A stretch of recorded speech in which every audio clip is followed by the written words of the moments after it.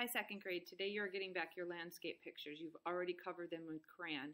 What we're going to do is we are going to use watercolor. You have water to share between the two of you, and you are going to wet your colors to use them. So if I were to do the sky, I would wet the blue, and then I would paint in the sky. You can see that I started doing some fall colors in my trees, but you can see that also you want to take your time and go around your other um, drawings nice and carefully. We are getting rid of all of the white.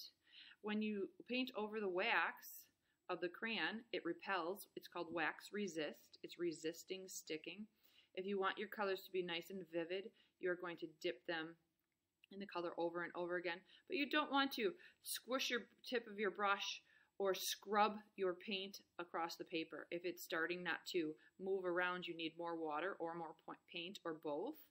Um, after we are done, uh, we will have somebody to collect the cups. You're going to take your painting over to the rack like a, a pizza, and you're going to be able to wash your hands and put your smock away. So edge to edge, nice fall color.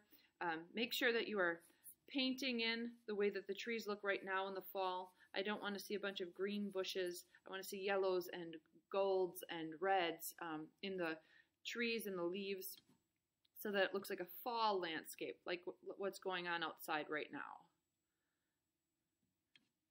So, thank you so much for listening.